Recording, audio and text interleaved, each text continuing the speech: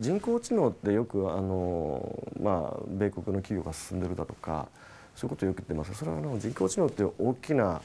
あの枠をこう人工知能だと思うとここの話をしてるんですよね。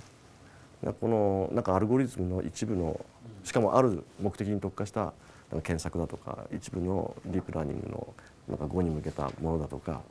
それは全く全体をバランスよく見てなくてなぜかというとまず人工知能が働くためにはデータが必要ですと。でデータっていうのは実際のさまざまな事業やビジネスや社会の活動と結びついてないとダメですということですよね。で今起きてることは、まあ、この15年ぐらい起きてきたことはこの割と、えー、このビジネスの中でこのネットに入りやすいところ e コマースだったり、えー、そういうところがあのあるいは検索だったりですねあるいはウェブサイトでのさまざまなサービス提供だったりこういうところで、えーと、この、まあ、IT の技術ここにデータなんかも一部活用されていろいろ発展してきたわけです。ところが今この人工知能ということで起きてる話っていうのはそういう割とこう今までこの15年ぐらい進んできたようなネットおよびネットプラスアルファの領域だけに使う人工知能だったりそこでの人工知能じゃなくて今までどっちかというとそれから距離があるまあ銀行だったり鉄道だったり建設現場だったり病院だったりそういうまさにリアルワールドのさまざまなあの、えー、問題かつ現場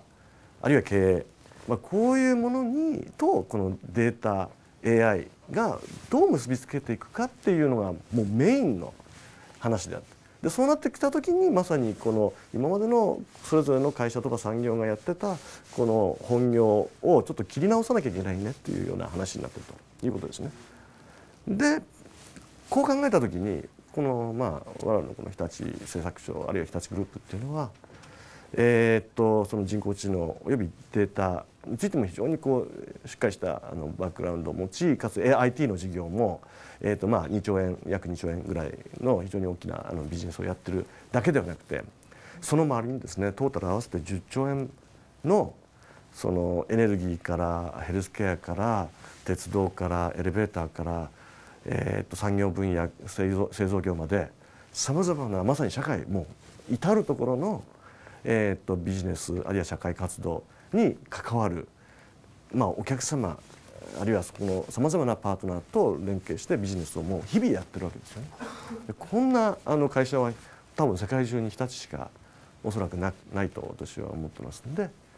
でこれはまさにこれ全部がこの IT のあるいは AI あるいはデータ活用のフィールドなわけですよね。でこれなしにですねなんかこのなんかコンピューターの中だけでこう一生懸命プログラム作ってもそんなところに当然出ていくことはできないのでデータも入ってきませんし、えー、やっぱりこう活動の範囲がすごく狭まってくるとこの社会全体をこのフィールドにして活躍するということにはこの日立ほどいい会社は私はないと確信してます。いろんなあの会社のえー、っと AI の紹介とか見ていただくとすぐ分かりますけど日立のは非常に群を抜いてさまざまなリアルなユースケースがいっぱい出てるというふうにすぐにお気づきになると思います。なんでかっていうと